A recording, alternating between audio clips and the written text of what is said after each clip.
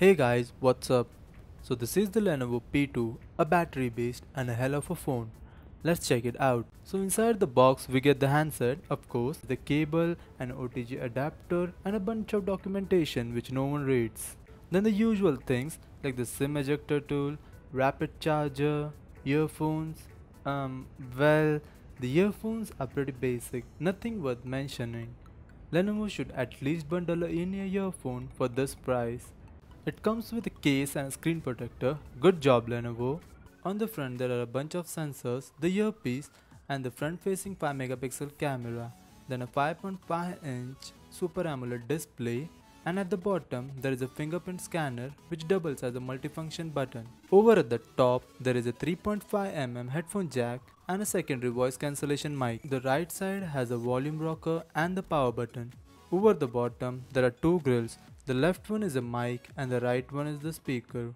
In the center there is a micro USB port. Over the left there is the SIM slot which takes two nano SIMs or a nano SIM, an SD card and the power slider. The back is metallic, the top and the bottom part are made of plastic for antennas. Then there is a 13 megapixel camera with dual LED flash, NFC logo and at the bottom there is Lenovo branding. While the phone boots up, let's look at the spec sheet. It comes with a Snapdragon 625.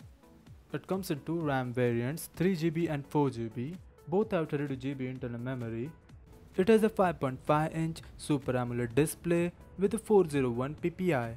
It houses a massive 5100 mAh battery and still weighs only about 177 gram. It's a dual SIM hybrid device and comes with a Gorilla Glass 3 protection.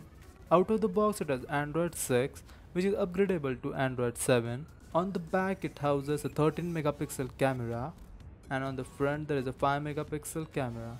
It also has NFC. So performance wise this phone is pretty good. It's really smooth, may it be playing games or watching videos. I haven't encountered any lag whatsoever. The Super AMOLED display is amazing. Since it's an AMOLED, there are true blacks and the colors are punchy. The screen alone makes the phone worth it.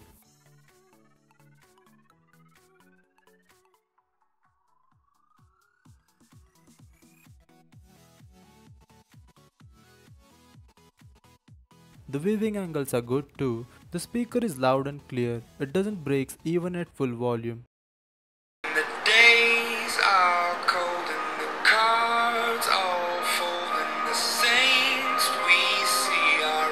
Only problem you might face is blocking the speaker sometimes while watching videos. all made of gold when your dreams all wounds we hail are the worst of The fingerprint scanner is spot on. It can record up to 5 fingers. It recognizes 9 out of 10 times. Thumbs up to Lenovo.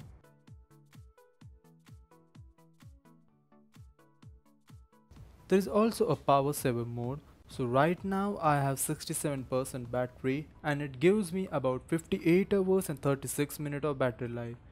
You can do functions like making a call, sending text. You can also add clock for alarm or a calculator. It has an Android UI made by Lenovo. It is very close to stock and highly customizable. There is also an option of Vibe UI. Now the main thing for which the phone is known for battery life. It lasts 3 days on moderate usage and up to 1.5 to 2 days on heavy usage which is mental and to top it off it takes 1.5 to 2 hours to charge it from 0 to 100. I personally charge this phone for 5 to 15 minutes every day and it lasts me the whole day and then some. It has 32GB of internal storage of which the OS takes about 18.30 GB. It has an OTG adapter bundle so you can view movies and photos in a pen drive for saving up some space.